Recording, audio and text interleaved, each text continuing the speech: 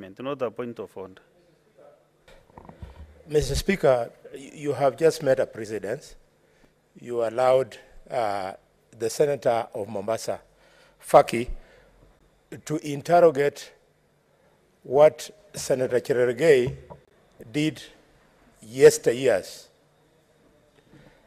Using the same latitude, Mr. Speaker, could you allow me to congratulate uh, Professor Tom Ojienda for his uh, concern about the woes, financial woes facing, facing the sugar industry.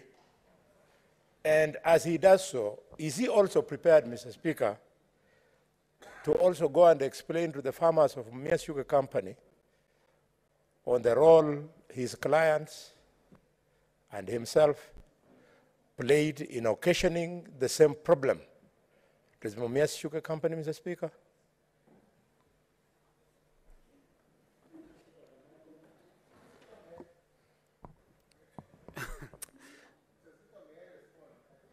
No, My but you friend, know, uh, sorry, the we senator are taking the wrong route, honorable members. You know, you are interrogating your own colleagues in the, in the chamber. I think you are opening a Pandora box. Because, just a minute, Senator Khalwale, don't go that route. Because you might be asked some serious questions which you will not be able to, also interrogations. Thank, thank you, No, uh, no, Professor Mr. Tom, Speaker, sir. No, no, I'm most obliged. you obliged. made your case, Professor, yes?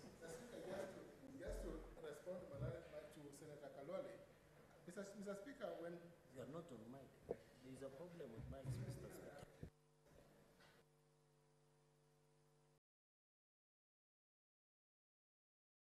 Mr. Speaker, I think the, the plight of sugarcane farmers, which is a national uh, question, uh, would apply across, across, across counties. And the plight of sugarcane farmers in Mumias, in Miwani, and in any other uh, sugar factory, I think because most of them have not been paid, and the question, the underlying questions, policy questions of privatization, of collapse and revival are cross-cutting, Mr. Speaker, sir. On the question of Mumias, Mumias, of course, was my client. In fact, Mr. Speaker, sir, uh, Senator, the senator for Kakamega will be surprised that Mumias, as my client, I defended Mumias as a client and stood out, defended claims successfully against claims against the, company. I never sued Mumias because Mumia was my client, and that's the position. Unfortunately, the, the politicization of some of the questions around the political period when the plight of Mumias was brought forth, I think, never brought out the real question, Mr. Speaker, sir.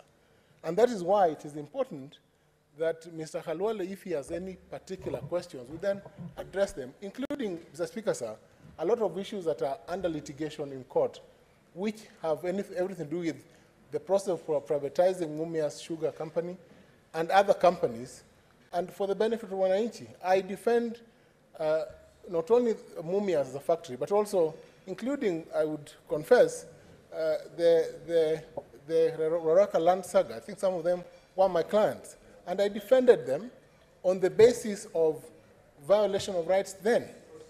You know? So, Mr. Speaker, sir, on, on Mumias, the plight of sugarcane farmers in Mumias, some of whom are my friends,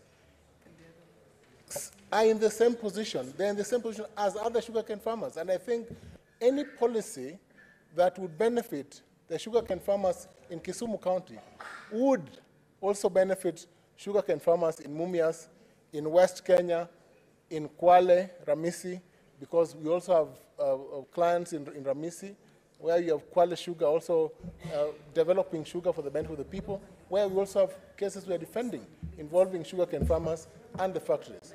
So I think, Mr. Mr. Speaker, sir, the entire framework of the policies that we seek to interrogate under, I, under AFA, which is the, the, the framework legislation, basically benefit sugar farmers and sugar factories also benefit, Mr. Speaker, sir, from a framework of privatization that would ensure that the development of cane is a process that will ensure that there's not only cane for the factory, but the sugarcane farmer is also paid in good time.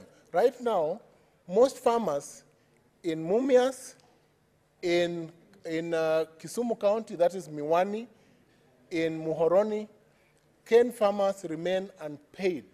And it takes a long time for cane farmers to access money from the factories, even after their cane has been harvested. And a policy should be in place to ensure that these poor farmers are compensated, they get money in good time, so that they're able to reinvest the money in farming, Mr. Speaker, sir. That's it.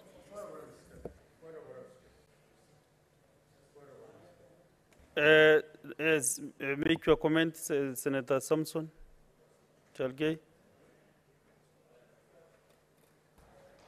Mr. Speaker, two things. Since I come from the region that dependently, uh, mostly the sugar, uh, Chemelil, Chemas area, Tinderet sub-county, Masab sub-county. Uh, of course, the Masab sub-county is a new area where we are planting sugar now.